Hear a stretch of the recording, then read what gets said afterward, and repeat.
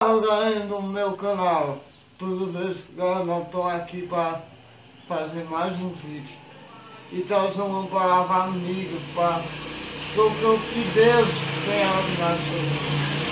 Então se inscreve no canal, deixa o seu like. Eu já estou aqui com um homem de fé, cara, que eu que Deus vai usar para falar contigo. Então, pro vídeo.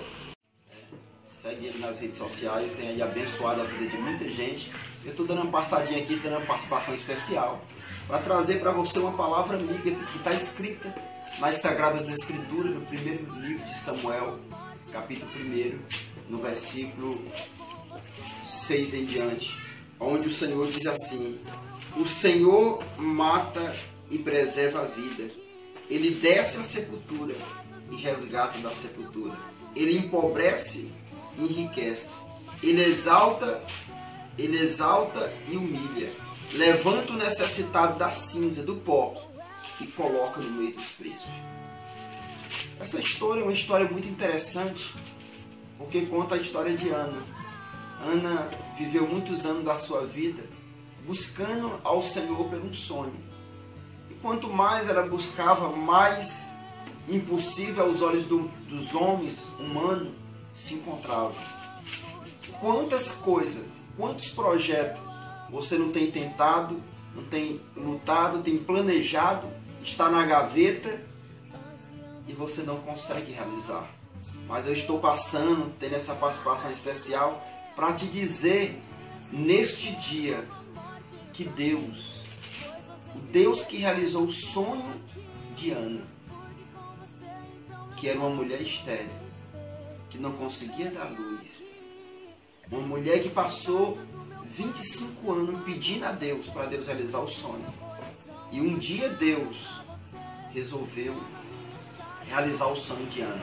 E quando Deus realiza o sonho de Ana, Deus nos ensina algumas coisas. A primeira coisa, que em todo sonho, em todo projeto que você for fazer, você precisa de um primeiro segredo, perseverança. Em tudo tem que perseverar. Perseverar nos estudos, perseverar na comunhão da família, perseverar em um projeto, perseverar em um sonho. Nós encontramos aqui na história de Ana perseverança. Esse é o primeiro segredo da vida de Ana. O segundo segredo, que para quebrar a esterilidade dela, ela disse: Senhor, se o Senhor me dá um filho, eu vou te dar esse filho. Ela disse: Senhor, esse filho não será meu, esse filho será do Senhor. Eu vou entregar esse filho para o Senhor. Olha o segundo segredo. Entrega tudo nas mãos de Deus. Você tem entregado a tua vida, o teu sonho para muita gente. Mas você tem esquecido de entregar para a pessoa principal, que é Deus. Entregue nas mãos de Deus, faça o que Ana fez. Ela entregou nas mãos de Deus o sonho dela. E para completar, Ana, além do seu esposo, naquela época podia ter mais de uma mulher, tinha outra mulher. E ela, e, e ela a mulher da, do esposo dela provocava muito ela. Então ela vivia debaixo de um tormento, debaixo de provocações, de irritações, de zombaria. E Ana atravessou tudo isso durante mais de 25 anos orando, pedindo a Deus para Deus realizar esse sonho. Nós vemos aí o segredo entregar nas mãos de Deus. O terceiro segredo que Ana fez, ela não olhou para as provocações. Ela não olhou para irritações, para a zombaria, para aquilo que a sua rival falava. Ela não olhou. Quem sabe você, galerinha, amigo, amiga, quem sabe você tem olhado para que as pessoas de você que as pessoas pensam, que as pessoas falam. Mas olhe para Deus, faça como Ana. Não olhe para a rival, não olhe para os adversários, não olhe para as circunstâncias. Olhe para Deus. Eu estou aqui para te dizer: Deus tem o poder de tirar a vida da vida. Deus tem o poder de abater e de levantar.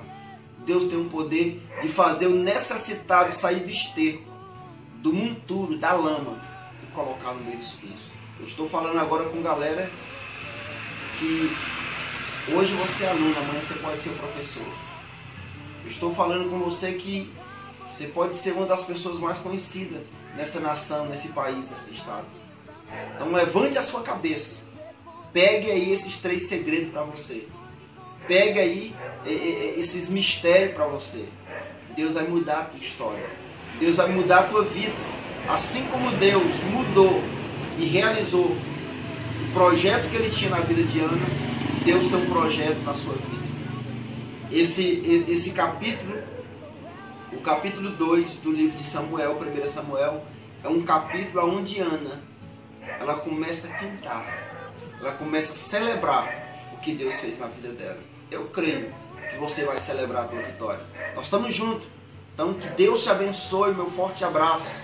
Qualquer momento a gente retorna com você, tendo essa participação especial no canal do nosso amigo Tiago Martins. Segue ele, segue ele aí, ó. Segue aí o meu amigo Tiago Martins. Deus te abençoe, meu forte abraço.